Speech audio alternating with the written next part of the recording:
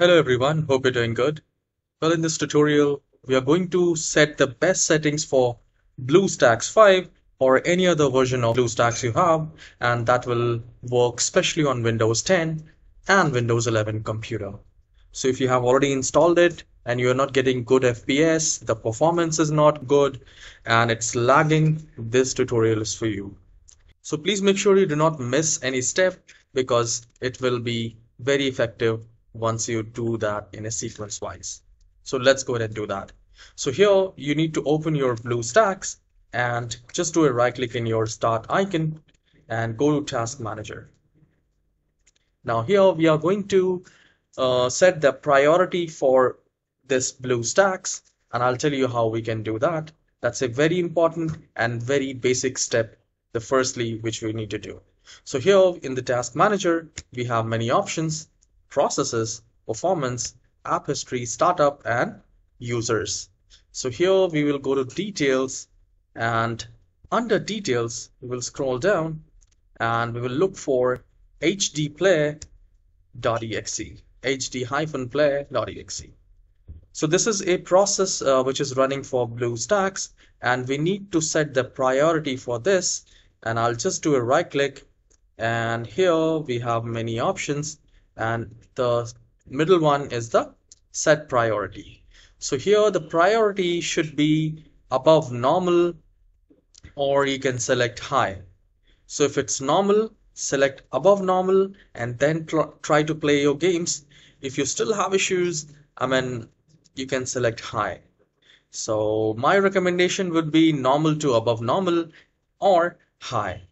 So I'll select high here and I'll click on change priority. So this is the first step which we have successfully done and I will close this window. Now, once this is done, click on this settings icon and the very first option you will find is performance. So performance um, here we will need to select the CPU. Like you have a processor and you want to give some portion to this particular application. So the best one would be dividing in a, you know, a medium frame. So I will always recommend if you have eight cores, please listen to me carefully. If you have eight cores, then maximum give it to four or five. You can select custom if you have eight cores and give five here. And uh, medium will be the best one because you need um, half of the CPU for your BlueStacks and half of the CPU in the background for the whole Windows computer.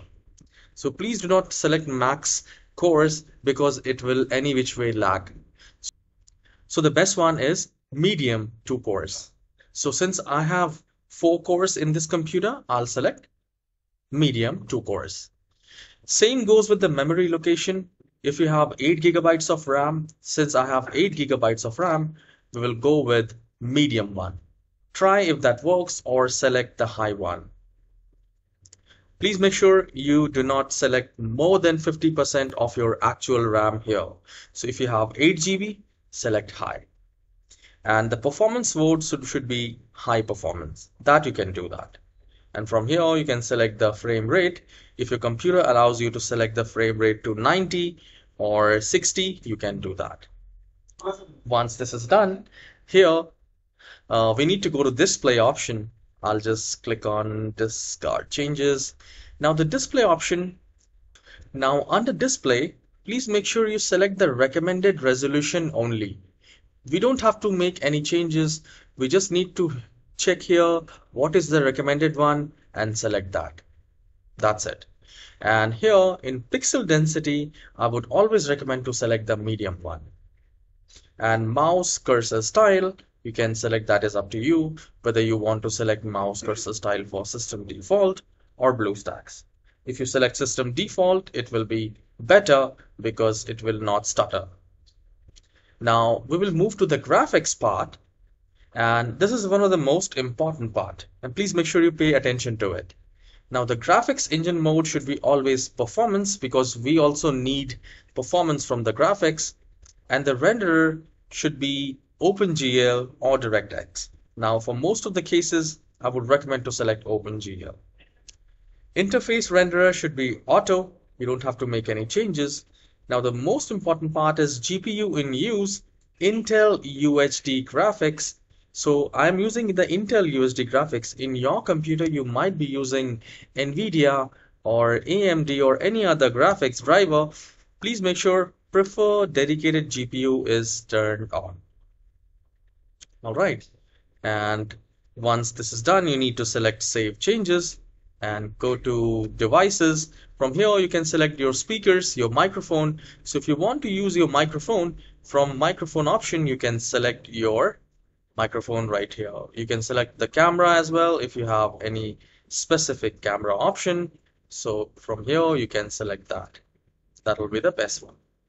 Now, once this is done, you just need to click on Save Changes and restart the computer and see how's the performance of your BlueStack. If it has increased the performance, if it has worked for you, please leave a comment. It really motivates me. And please hit the like and subscribe. I really need your support. Have a wonderful day, guys. Take care.